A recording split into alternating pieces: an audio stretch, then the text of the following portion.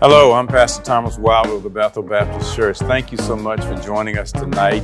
As we prepare to study God's Word, there is always so much in God's Word that He wants to share with us. So now get your pad, your pencils, your iPads, whatever it is you take notes with. Let's get into God's Word.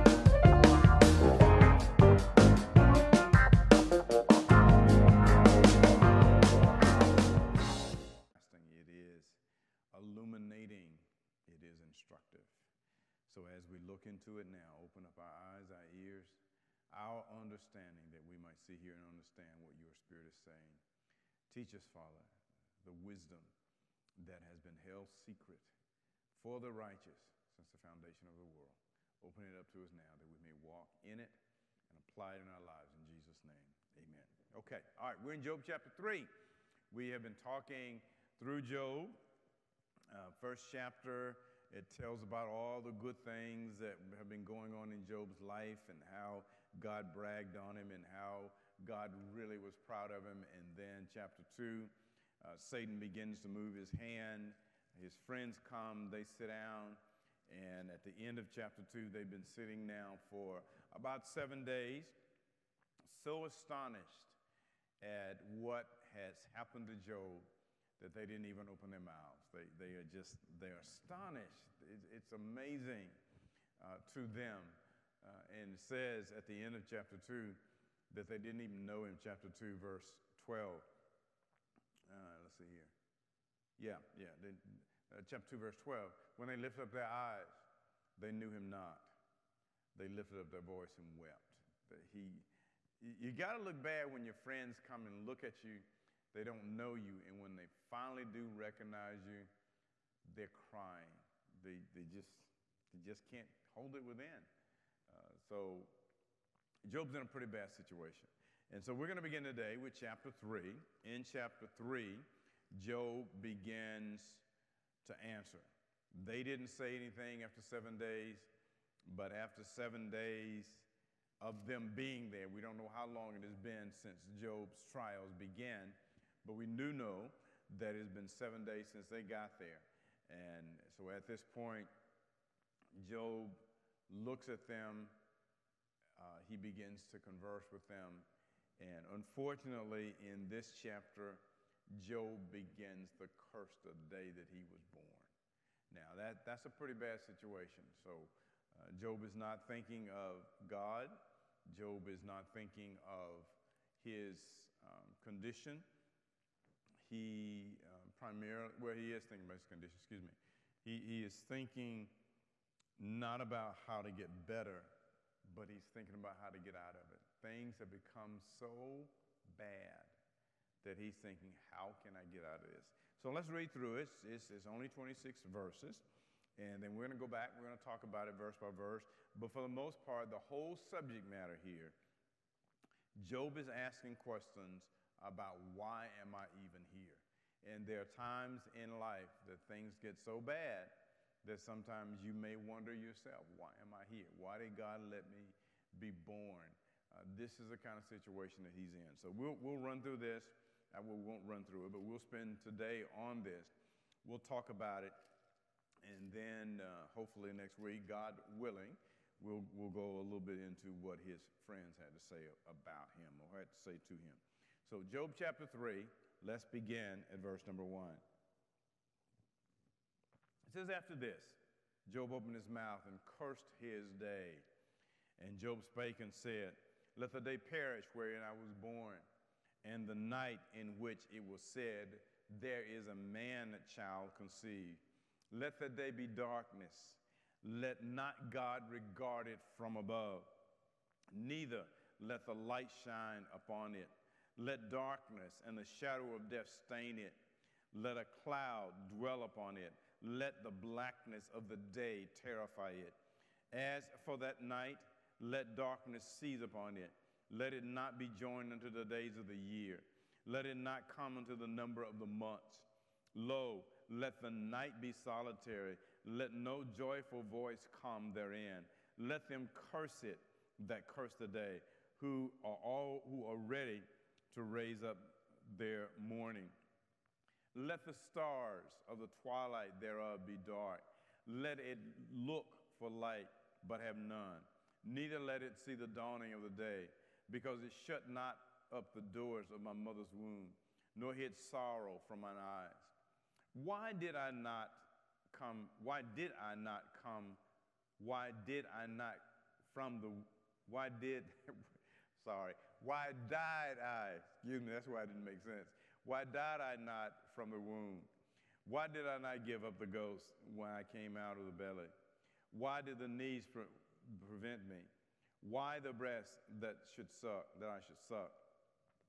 For now should I have slain, lain still and been quiet.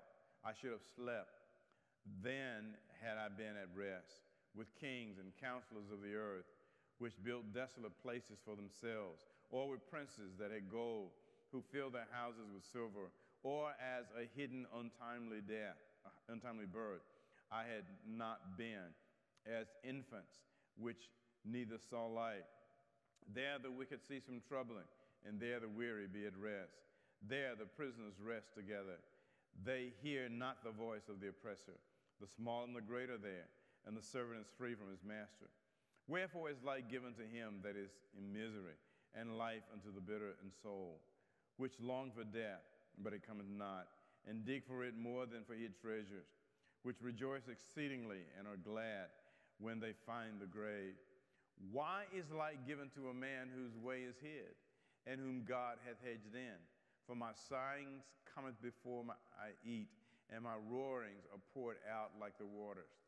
For the thing which I greatly feared is come upon me, and that which I was afraid of is come unto me. I was, I was not in safety, neither had I rest, neither was I quiet, yet trouble came. Now, whew, uh, this is perhaps uh, the most depressing book in the Bible. Okay, this is the most depressing chapter, rather, in the Bible, uh, particularly when you look at verses 1 through 10. Uh, and so when Job is beginning to, to talk about his life, he is asking uh, a series of what I call rhetorical questions. And the essence of these questions come to the point of asking, why was I born? Why was I allowed to live?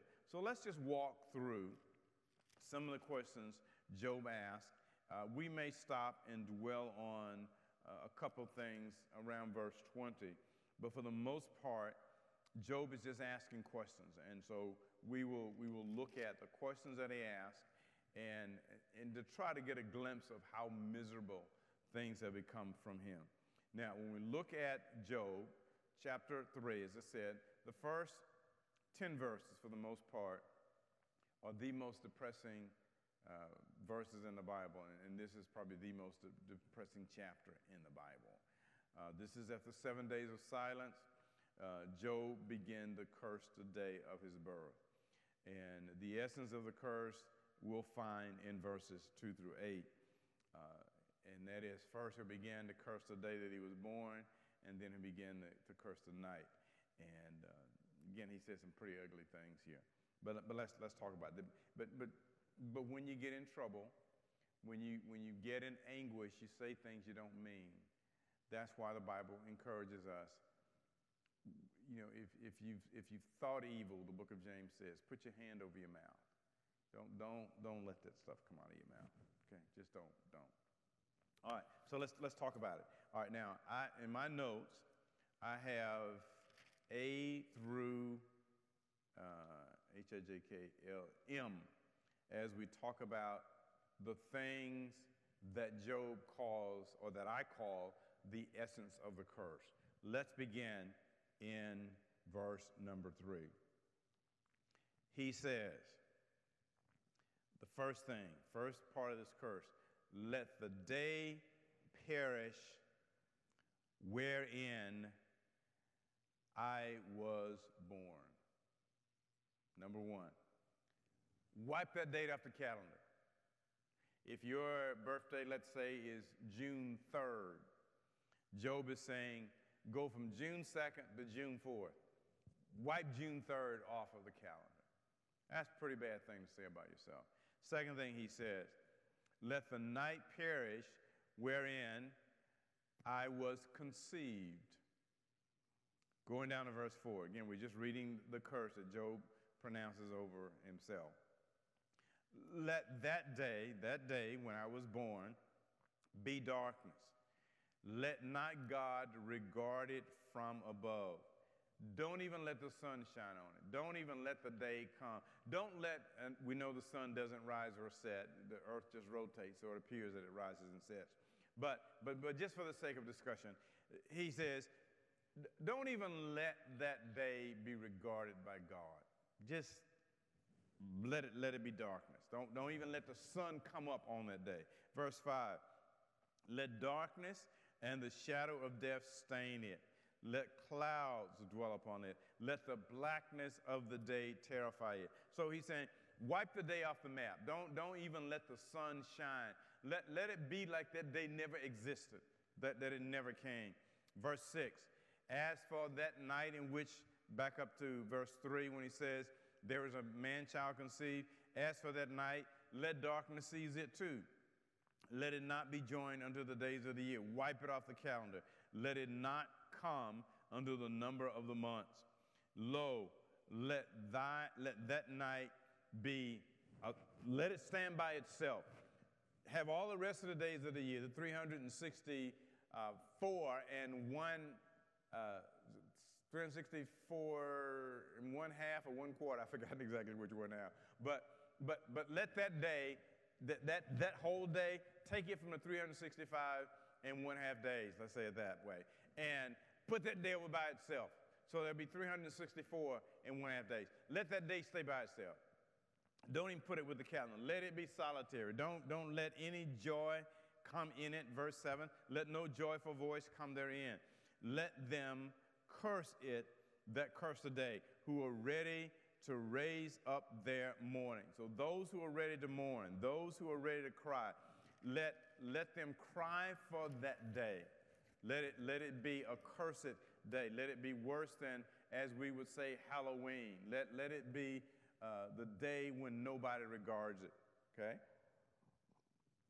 So not only is he cursing it, he's asking people who are professional cursers, let them come and let them curse today. Like, like Balaam. Remember, Balaam was one who could put curses and hexes on people. And Job said, Let people like Balaam come in, let them curse that day. So that on that day, you know, they used to say Friday the 13th was cursed. But, but let it be like a Friday the, the triple 13th. Okay? So 13 times 13. Let, let that day be cursed. Then he goes on down to verse 9. Let the stars of the twilight be dark. Don't even let the, the stars shine on that day. Let it look for light. Let that day look for light, but have none. Neither let it be the dawning of the day. Don't even let the sun rise, as we talked about. For verse 10. And the reason why I'm pronouncing all these curses, the reason why I'm asking for all these curses, because one, that day did not shut up my mother's womb. When I was born, I'm cursing that day because that day did not cause my mama to, uh, to, to, to abort me or to cause me to be stillborn. That's the first reason. The second reason that I'm cursing that day is because, verse 10, is because uh, it nor hid sorrow from my eyes. It did not stop me from experiencing such a fierce sorrow. All these curses he pronounces, and he tells you in verse 10 why. Because that day would, did not stop my mama from having me. And that day did not introduce me from all the sorrows that I'm going through right now. What a terrible thing to say about your own birth. Now, let's start at verse 11, and then we'll go down through verse uh, 19. What happens sometimes as difficulties come is that we begin to glorify death. Now, uh, let me say, uh, suicide is a very serious issue. It's very serious. And, and there are those that may be predisposed because of mental conditions to think more readily towards suicide. And, and I'm not at all lightly taking that, nor am I lightly saying people who have serious problems that those problems are not serious. But I am saying to you, nothing is worth killing yourself. Don't kill yourself over it. I know that there are people uh, who are in constant pain. Uh, I've, I've, visited people and they're in pain, um, and, and, and, the pain is unbearable, and I, pain that I can't even imagine and don't want to even try to imagine. Where every moment, if, if they have cancer, say, that cancer is eating at their body and that cancer is causing all the nerve cells to be just, just on edge and, and they are hurting and it's in excruciating pain throughout their body. I, I, don't, I don't know what that feels like, but I am saying to you, don't glorify death because even though this life may be tough, we don't know everything that, that goes on, the other side. Now, we do have our faith, we do have the Word of God, and we trust God. But to die without the Lord, as we go by what the Bible says, is, is, is not a blessing. It is not a blessing. So while you're going through this life, times get tough. It does get tough. But don't think of death as a glorified way of getting out of it. Don't think of that because there is an eternity on the other side of death. There is an eternity. Think of that eternity. And if 16 years, or 17 years, or 18 years, or 20 years, or 25 years, or 35 years, if, if that, let's say 35 years, if 35 years is causing you that much trouble, think of what that much trouble would be like if you had to live it for all eternity. Don't do it. Don't do it. Don't do it. But Job here begins to glorify death. He is in such pain and such agony that he says to himself, Death is better. And I'm sure there are people who do think that. But let's read verses 11 through 19. I've read them before. I tell you what, we're just, we're just taking verse by verse since we already read them. Job begins to ask some questions. Why did I not die from the day I was born?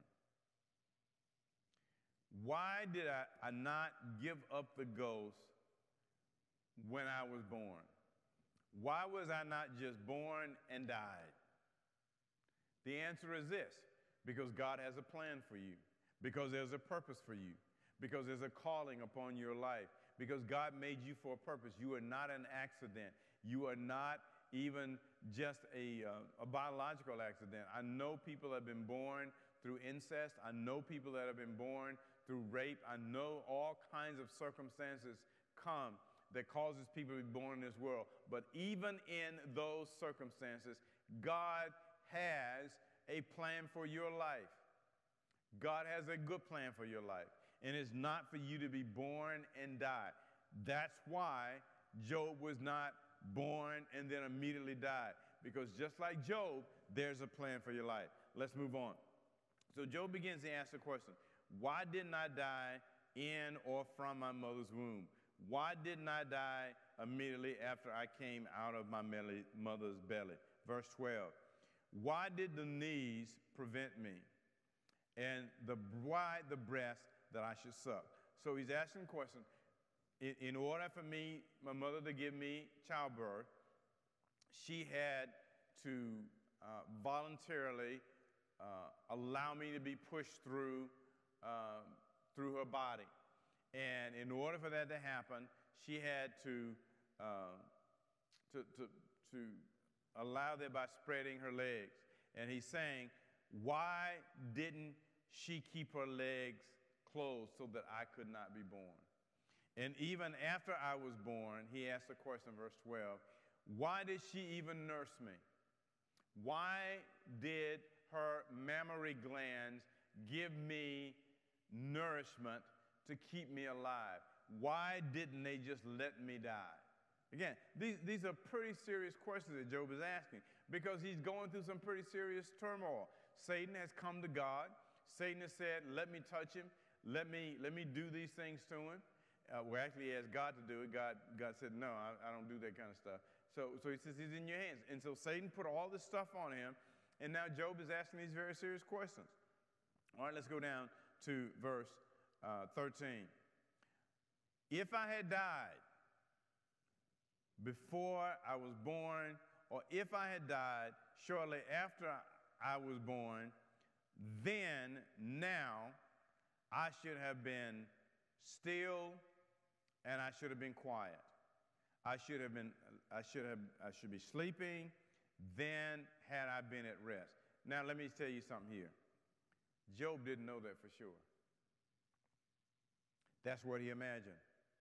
He didn't know that for sure. He didn't know that he would have been resting. He didn't know that he would have been sleeping. He didn't know that he would be still. He didn't know that he would be quiet. Because no one, well, there are, there are some people who said they have gone to hell and come back, and I've listened to some of those stories, and they're interesting.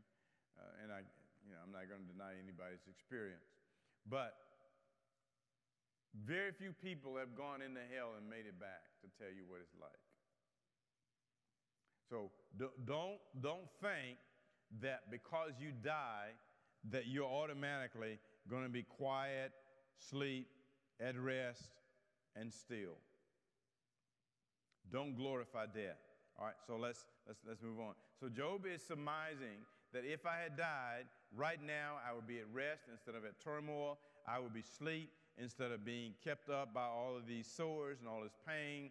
I would have been still, I would have been quiet. Verse 14 I would have been, he says, with kings and with counselors of the earth because everybody dies.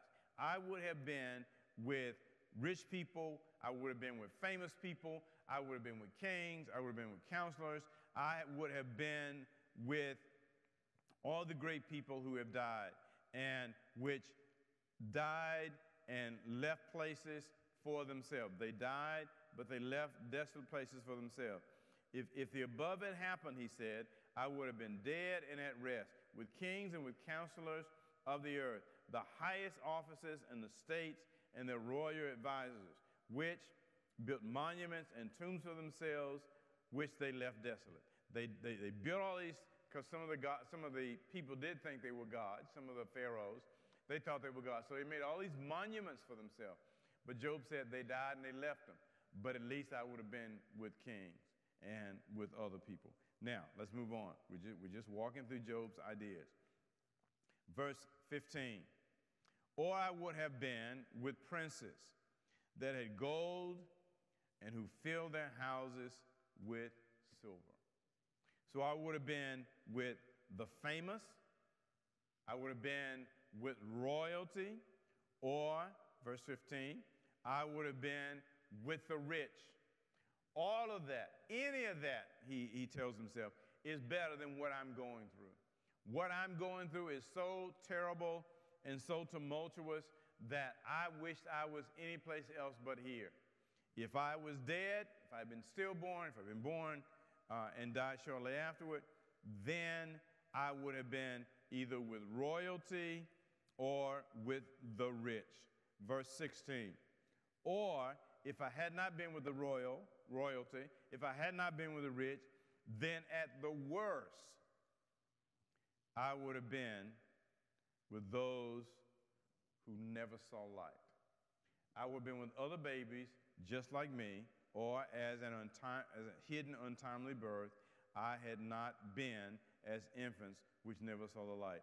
So, if, if I had died, I would have been with kings, uh, with royal people who made money for themselves. I had been with princes who had lots of money, lots of silver and gold, or at worst, I would have been with other people who also died in infancy, who never saw light, who never saw day. Anything would be better than where I am now. Verse 17.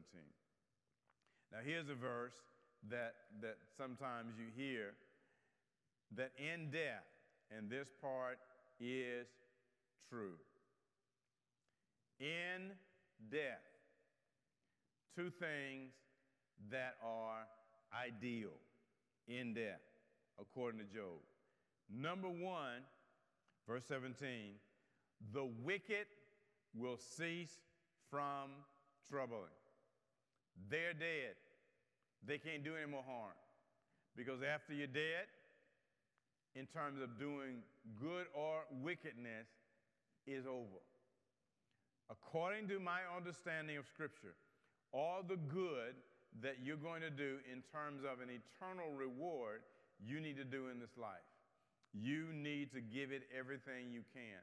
You need to go wide open, passionately informed for God. You need to give, we need to give God all that we can give, all the service we can give while we're in this life. Because in the grave, he says, the wicked will cease from troubling.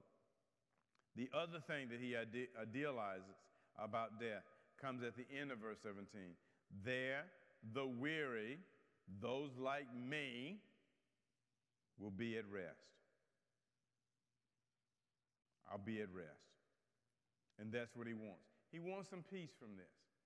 And remember now that when you're in a circumstance like this, that is what you want. All you want is some peace. That's all you want. You just want some rest. You just you want to get to a point where you're not suffering anymore, where you're not going through this anymore. You just want relief from your pain. And that's where Job is. I just want some relief. I'm tired of this.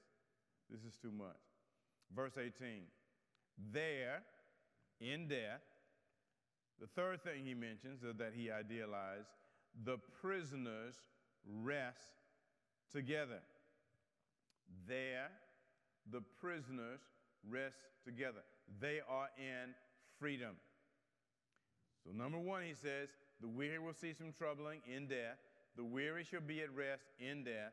Prisoners will rest together in death. There is freedom. But then at the last part of verse 18, he says, They hear not the voice of the oppressor. Not only are they at rest, there's nobody to harass them. There's nobody trying to take advantage of them. There is no boss. There's no overseer. There's no master. There's no one beating with a whip. There, the wicked will cease from troubling. The weary should be at rest. The prisoners will rest together, and they won't have anybody harassing or oppressing them. Verse 19. Again, Job is just idealizing what it would be like to be dead. And then he says in verse 19, the small and great are there. Rich people are there, poor people are there, the wealthy are there. Well, that's the same thing. Rich people are there, poor people are there, uh, royalty is there, peasants are there, slaves are there, and there may be some masters there. Death makes everyone equal.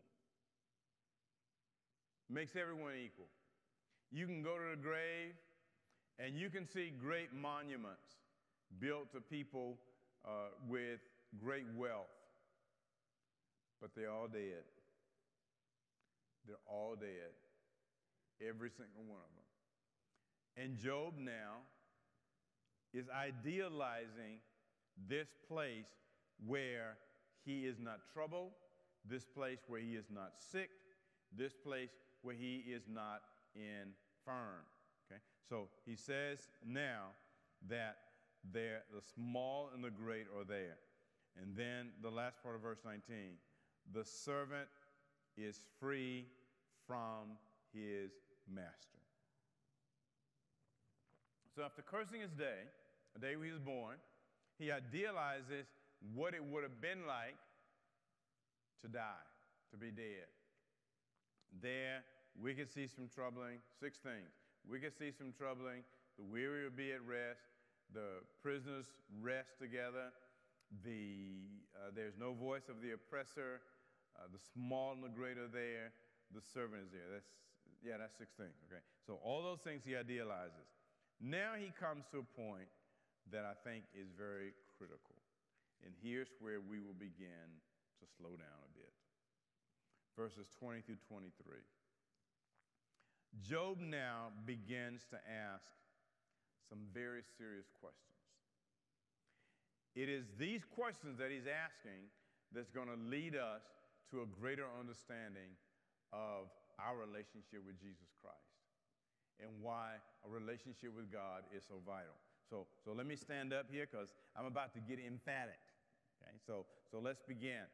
All right, so beginning now in Job chapter 3 and beginning at verse 20, I want to read verses 20, 21, 22, and 23. And then we're going to talk about these and, and point to the fact that God wants a relationship with us, and that's why he sent Jesus Christ. Let's begin.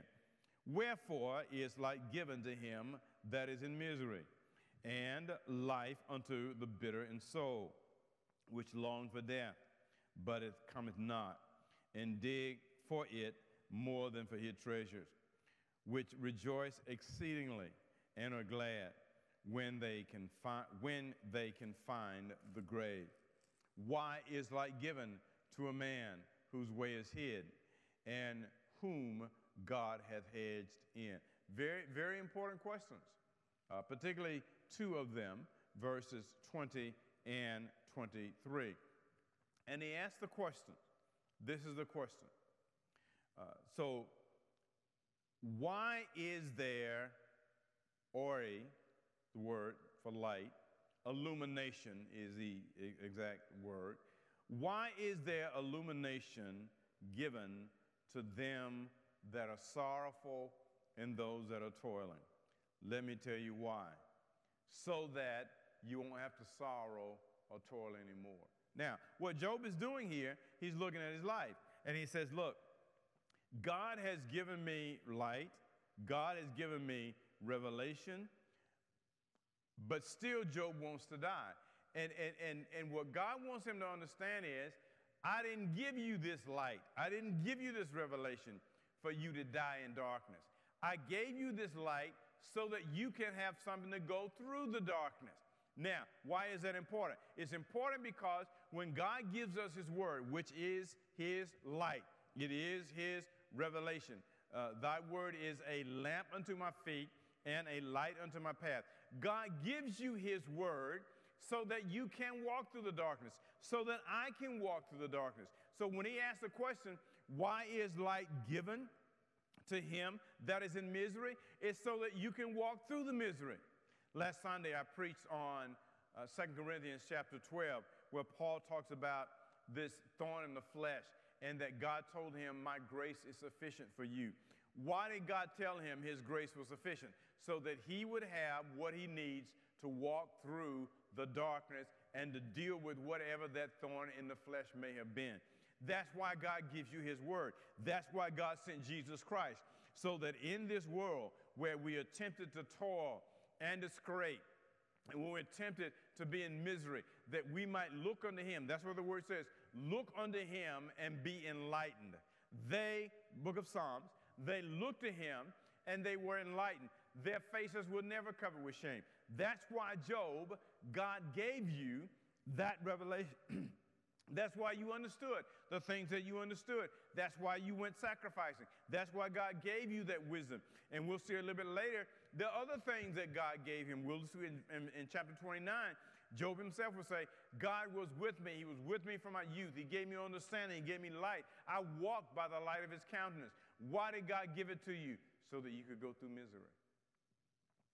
So that's answer, that answers that question. He asked the question, Why is light given to him that is in misery? And life unto the bitter in soul, so that you could go through misery and so that you would not be bitter in soul.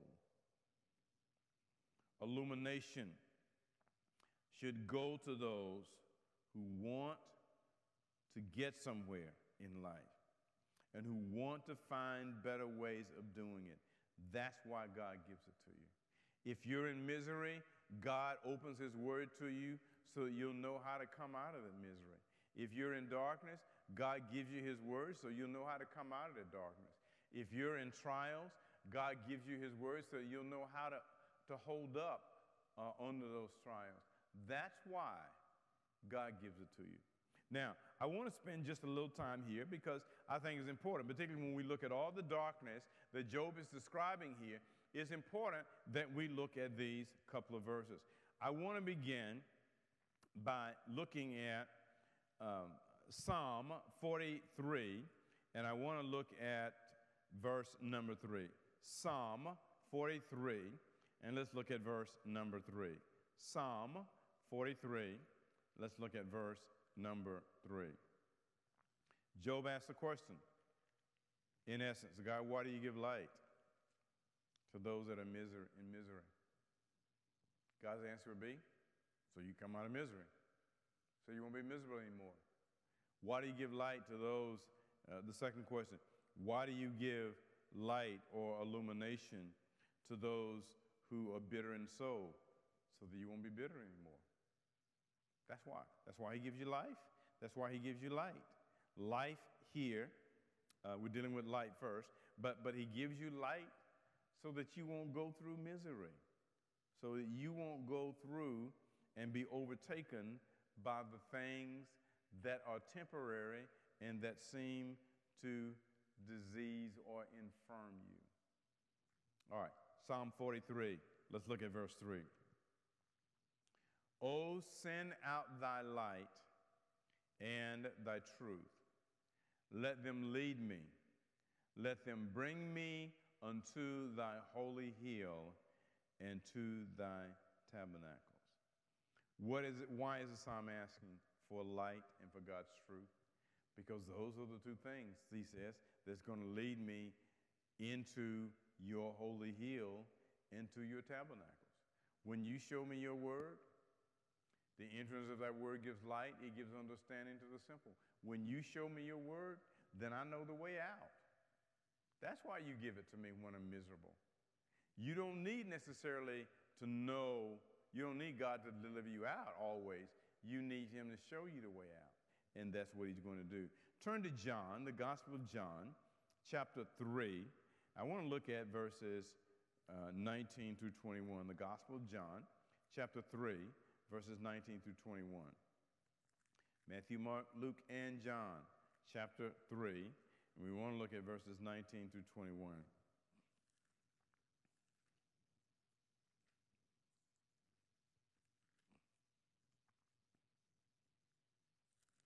John chapter 3, verses 19 through 21.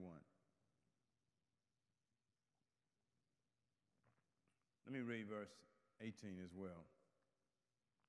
John 3, we'll start at verse 18, we'll read through verse 21. He that believeth on him is not condemned, but he that believeth not is condemned already, because he hath not believed in the name of the only begotten Son of God. He is apart. And this is the condemnation that light is come into the world, and men love darkness, and I'm going to add a word, and misery rather than light, because their deeds were evil. For everyone that doeth evil hateth the light, neither cometh to the light, lest their deeds should be reproved. But he that doeth truth cometh to the light, and his deeds are made manifest that they are wrought in God. Okay. Those who love truth come to the light. Those who hate truth stay in the darkness because their deeds are evil. Let me give you one more verse. Let's go back to Psalms. Well, Pastor, why don't you stay in Psalms while you were there? Well, I just didn't. How about that? Psalm. Let's go back to Psalm. Psalm 97, and let's look at verse 11. This is a verse I would really encourage you to, rem- to commit to memory so that when you go through times that may look like they're dark, you can just bring this up out of your spirit. Job is asking a question Why do you give light to those that are in misery? The answer is so they can come out of their misery. That's why. That's why you give light. Why do you turn the light on to those that are in darkness? So they can come out of darkness. Why do you turn your headlights on when you're traveling at night so you can see where you're going? Why do you light a candle or get a flashlight when the power goes out so that you know where you're going?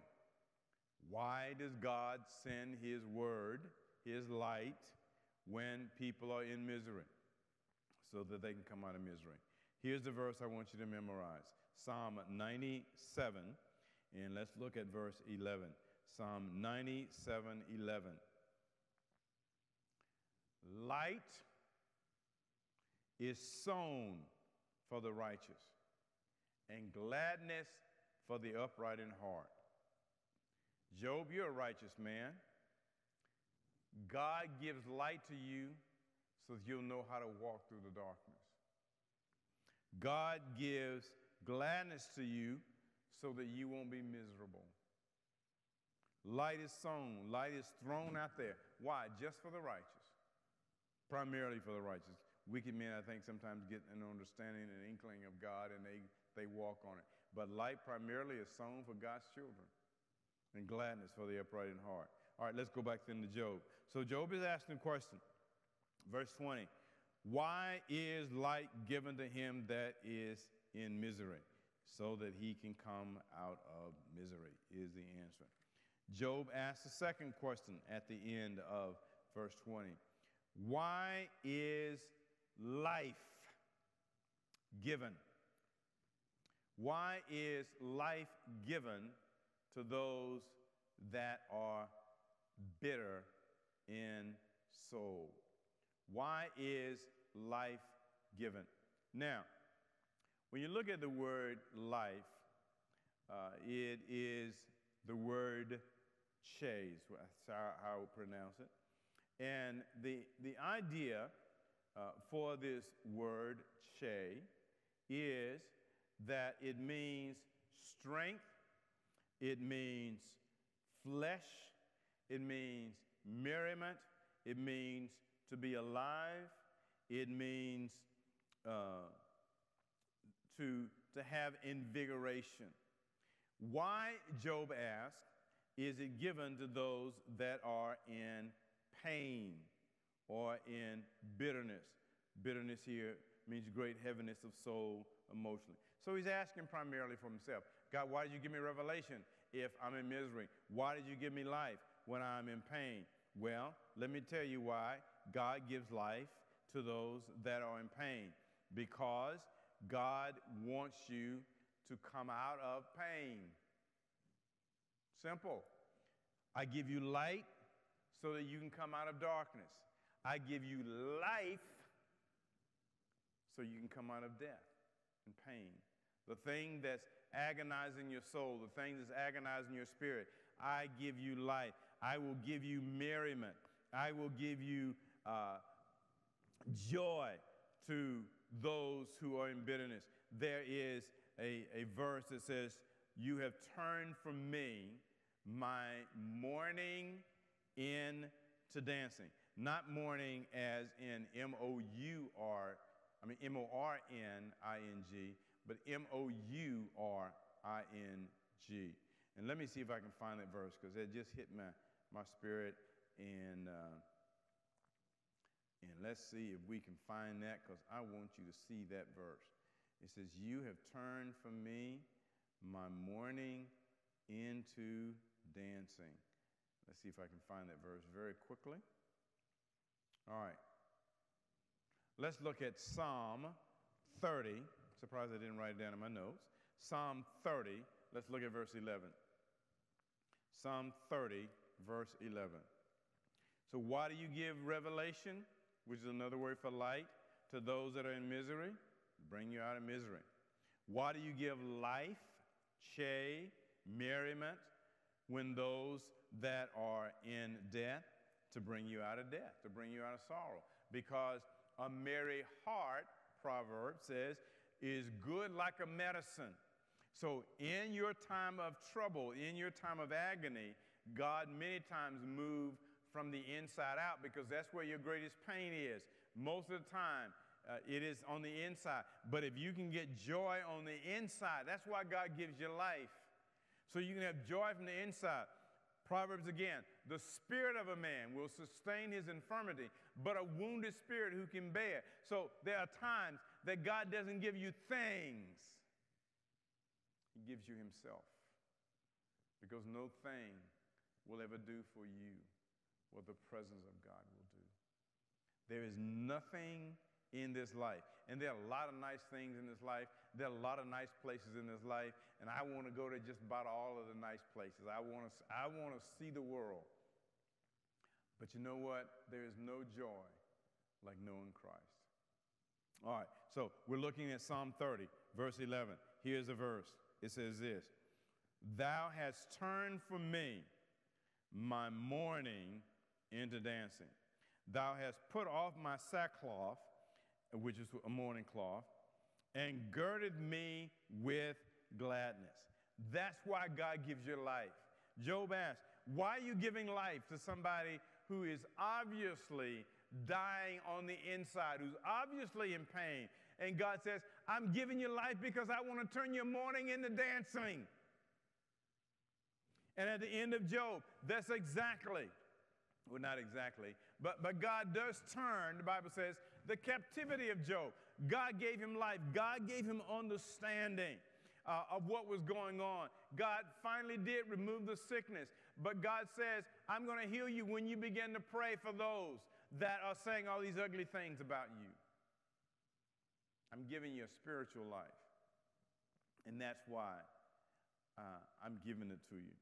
Let me read just a couple of other verses. Uh, those that are bitter in soul, or those that have heaviness, both the bitter and the miserable long for death. And it doesn't come soon enough. But God answers Job Well, he doesn't. The answer to Job's questions is that God gives you those things because God wants you to come out of both miser- miser- misery and bitterness. So Job asks the question, verse 20 Why is there light to him that is given to him that is in misery? Because God wants to bring you out. Why does God send Jesus to those that were in sin and the wretched, the wretched and the poor? Because God wanted them to come out. Why did God send Jesus to the cross as we get ready for Resurrection Sunday? Because God wants us to come out of sin. Why did Jesus hang around the publicans and sinners? Because they that are whole need not a physician, but they that are sick. That's why he does it. Let's go to verse 21, back to chapter 3. The bitter in soul and the miserable, those are the two he's talking about here when he says, which long. The bitter in soul and the miserable long for death, but it does not come. They dig for death more than for hid treasures. Here is the fallacy. Instead of digging for death, dig for life, dig for light, dig for life. My words are life unto those that find them. It is medicine, the book of Proverbs says, to all their flesh. But the way the flesh does is that when it gets in misery and when it gets to the point where it is in turmoil, it seeks ways to kill itself. It smokes itself to death. It drinks itself to death. It puts stuff in its body to kill it prematurely. It takes an overdose of this or an overdose of that. It drinks too much. It, uh, and I've known of people that wanted to kill themselves but didn't know how, so they just stepped out in front of oncoming traffic, hoping that somebody else would do it. I heard, I read the story, I didn't read actually, I, I saw the, uh, it was called, I think, The Last 48, about this famous musician.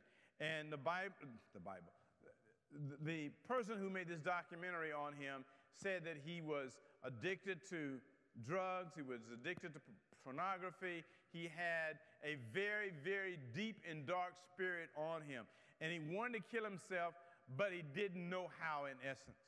And so he did something that he knew would bring sudden death. And that is, he went and he provoked someone that he knew would kill him because this person had told him, if you ever do that again, I'm going to kill you.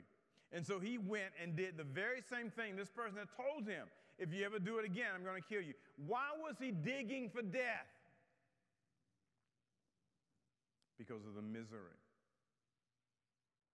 because of the torment of his soul. You want to know why sinners sin? Because of the torment of their soul. That's why God gives life. That's why God sent Jesus. That's why God gives us His Word. That's why God sent you into the world if you're born again. That's why God sent me into the world. That's why He commands us go into all the world and preach the gospel to every creature because there are miserable people. There are people who uh, are or, or dying on the inside and they need life and they need light. Because as verse 21 says, they are digging for death more than for hid treasure. And the Bible says God's word is the treasure. He says, if you seek my word as for treasure, I tell you what, let's look at that. Proverbs chapter 2. Proverbs chapter 2. Let me show you that promise. Proverbs chapter 2. I'm going to start at verse 1. I'm going to read down to verse, hmm. I'll start at, start at verse 1, go down to verse 6. Proverbs chapter 2, beginning at verse 1, going down to verse 6. My son, or my daughter, if thou wilt receive my words and have my commandments with thee, so that thou incline thine ear unto wisdom and apply thine heart to understanding, yea, if thou criest after knowledge, and lift up thy voice for understanding. He is a part. If thou seekest her as silver, and searchest for her as for hid treasure, then shalt thou understand the fear of the Lord and find the knowledge of God. For the Lord giveth wisdom. Out of his mouth cometh knowledge and understanding. So if you seek him, he says, I'll give you wisdom, I'll give you knowledge and understanding but you got to search for it like you do hid treasure. The wicked, he says, the miserable, he didn't say the, he didn't say the wicked, he says the miserable, and those that are in torment, they dig for death as they would for hid treasure. Because they want to get out of their misery. They want to get out of their torment. But I would encourage you, if you're going through misery, if you're going through torment, seek for light and seek for life because God gives both of them light and life, if you would just ask. All right, let's go on to verse 22. The wicked again, not the wicked, but the miserable and the bitter, rejoice exceedingly, and they are glad when they can find the grave. How sad. But they would be even more glad if they in this life could find life and light through God's word, God's word.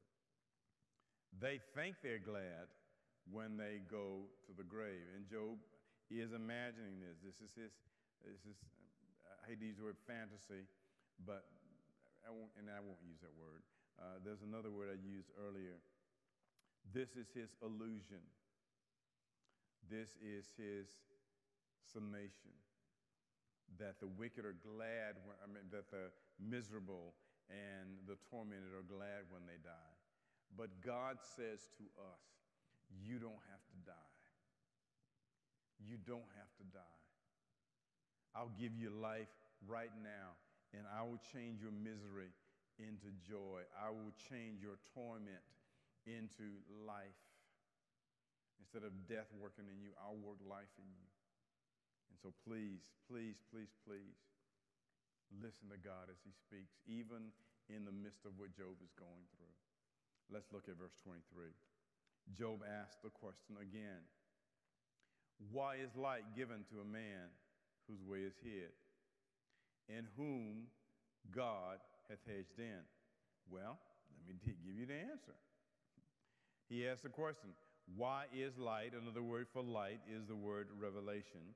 Why is revelation or illumination given to a man whose way is hid or concealed. That's what the word uh, is, is the word, uh, uh, which means concealed or to be hidden carefully or kept secret.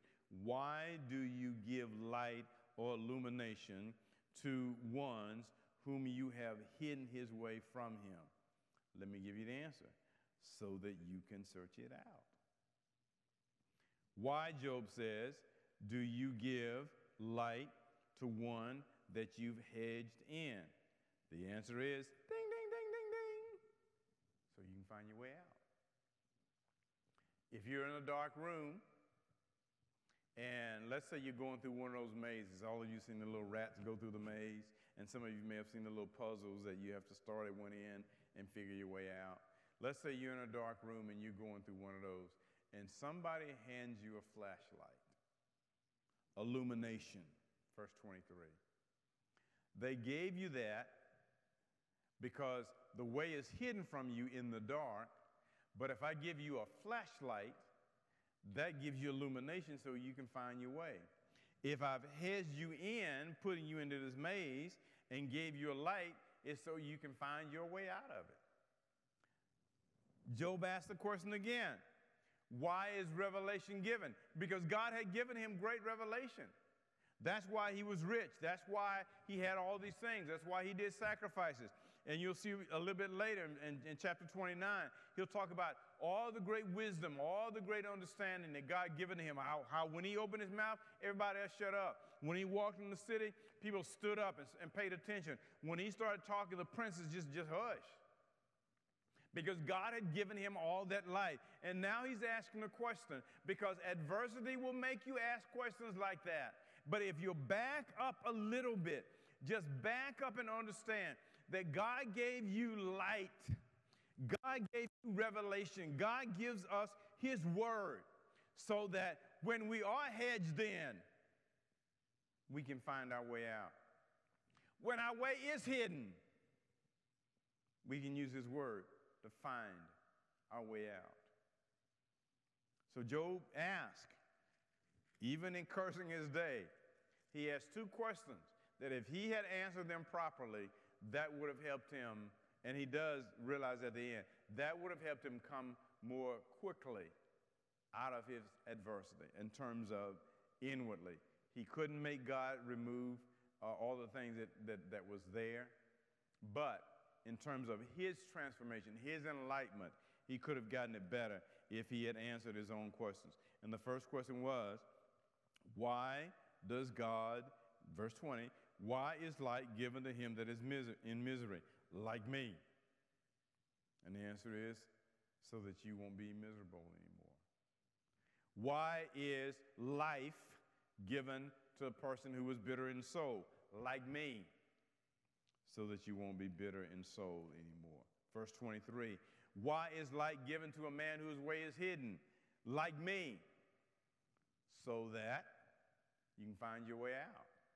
Why is life given to a man, light given to a man whose way God has hedged in? I can't get out any way, you, you, you, any way there is, so that you can find your way out.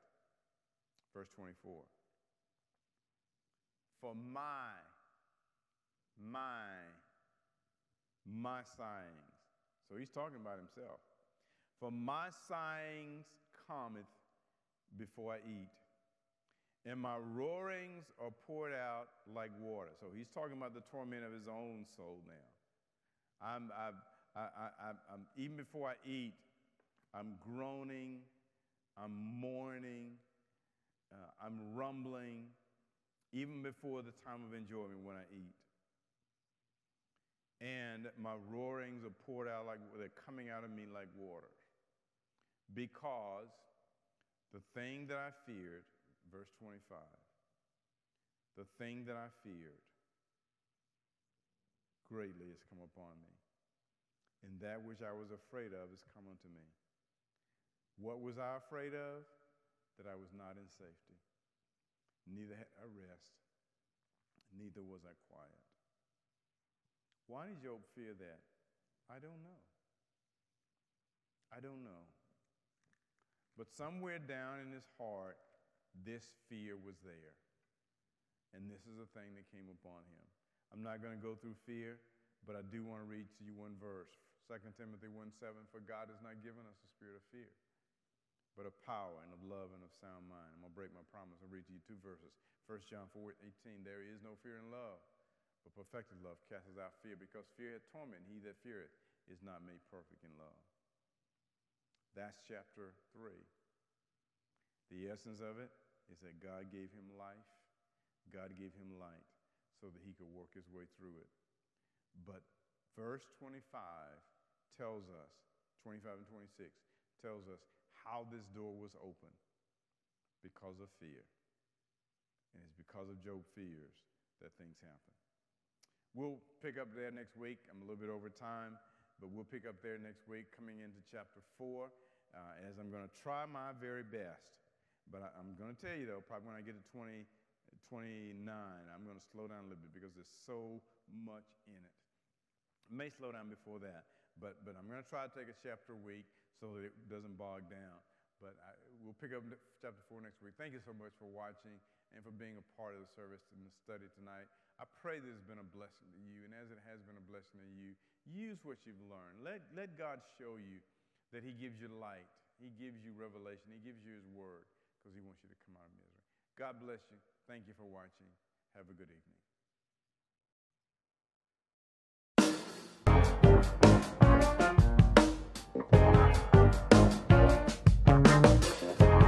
Listen, thank you so much for being with us tonight as we've opened up God's Word. And we pray that as we've opened up the Word, that God, by His Spirit, has opened up your hearts to receive what He has to say to you. Listen, everything that God says to you is good and it's for your good. So take it now and use it, put it to work in your life, and watch God make a difference. Thank you again for watching.